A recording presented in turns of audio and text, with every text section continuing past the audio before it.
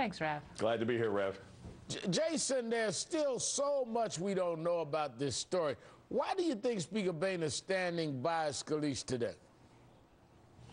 Because the Republicans don't care, because they can say bad things about women, they can say bad things about gays, they can say bad things about black people, and they keep winning Congress. So they have no electoral consequences for supporting people with this kind of behavior. It's clear Steve Scalise is lying. He, he knew where he was. He's not fooling anybody. But the Republican Party won't suffer any consequences for it. So Boehner will have his back, and they'll still give Obama a lot of trouble in the next two years. Now, being clear, Michelle, we're not talking about all Republicans. We're talking about one guy, but he is the third top ranking guy in Congress. And many people make mistakes. All of us have said things we didn't do, but we're talking about a pattern here that's a little more than we thought uh, when we first heard this from a blogger yesterday. For example, 1999.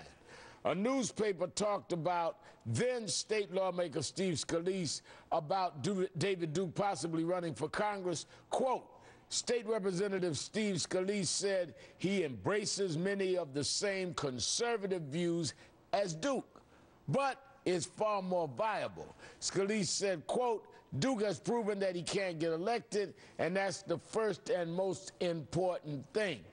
And that same year, Michelle, Scalise was one of just three Louisiana lawmakers to vote against making Martin Luther King Day a state holiday in Louisiana. He voted against it again in 2004. So does Scalise need to provide a fuller explanation for his past, including voting against state holiday for Martin Luther King, including he didn't attack David Duke's Uh, apparent racism, but that he just said, well, I'm a more viable candidate than him. He can't win, I can win. I mean, this I- starts to build up a little pattern here.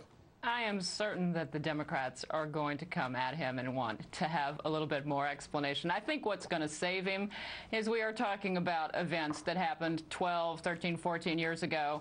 And, you know, to be honest, Louisiana back then, it's not so far away from when David Duke was a Republican candidate for statewide Right. office. I mean, this is this is a state where race was a, a very tricky issue, and you had to kind of play in those dangerous waters.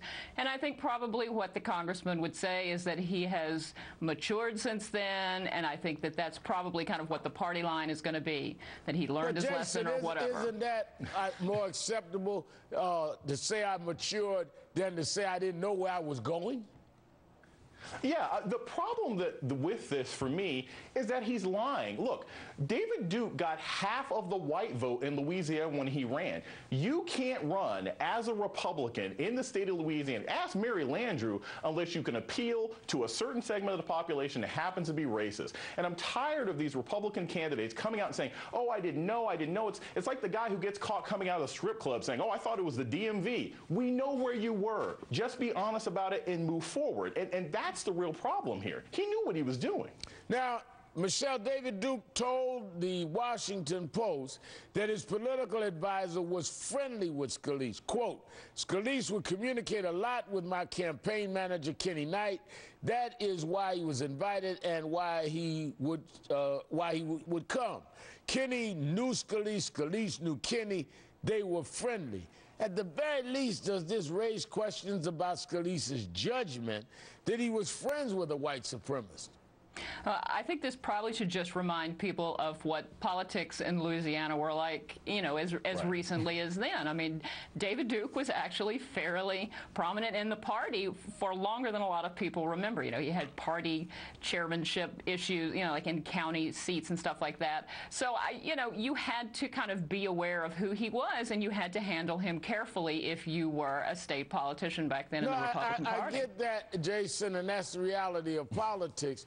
But then, Right. do you then make this person the third highest ranking member of your party in the Congress and say you're trying to reach out and you have an autopsy done and you uh, the, the chair of the party and say now we want to be more diverse and you roll him out Right. to talk about diversity i mean fine people have their past but you can't use him if you're trying to reach out and if he's not even going to say yes i made mistakes and i've grown oh i didn't know where i was Well, yeah, Rev, you're exactly right. This shows how disingenuous the Republican Party is about this issue. And I'll be honest, you know, part of also the reason why Boehner probably doesn't want to go after Scalise is because this happens all the time. We had Trent Lott. We just had Rick Perry, who had a ranch called Inhead Ranch for 30 years and no one saw it. Boehner doesn't want to go after him because he realizes that you have a lot of other Republicans with that background. And until they clean up this issue, until the Republican Party says we're going to purge open racists and bigots, they'll never win another national election. They can keep winning Congress, but you can't win over the country if you keep fostering and pandering to bigots. And I think, Michelle, again, we're talking about one uh, person here. We're talking about some of the party leadership, not all Republicans. But if Republicans are going to win an election, they're going to have to break out of the boundaries that they're in in terms of the demographics. And how do you reach out without being transparent, open about who you're dealing with, and having leadership that has the capacity of delivering that message? Well, this does put Scalise in a particularly tricky situation. I mean, the party is desperate to overcome its image as a bunch of cranky old white guys.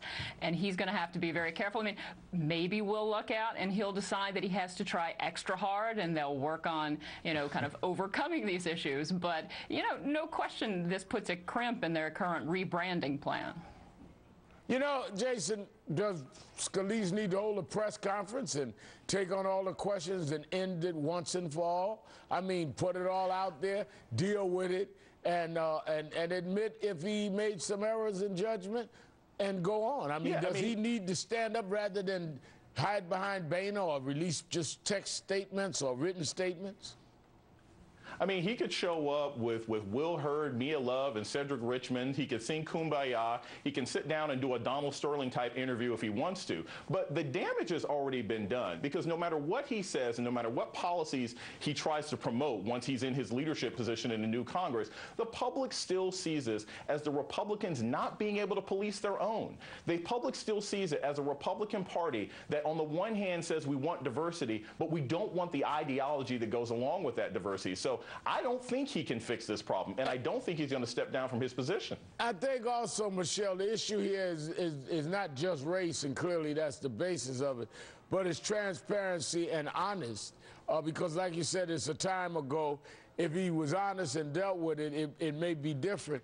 But when people feel like you've done things that I don't like or that I'm uncomfortable with, and now you're also going to try to mislead me, I think that's a, a underlying issue here that a lot of people are saying, well, wait a minute now, you didn't know, and you voted against King Day, you didn't know, and you this guy's your friend. Now it's one thing for me to say, look, uh, that's all in the past. It's another for you to tell me today something that I feel that you don't respect my intelligence.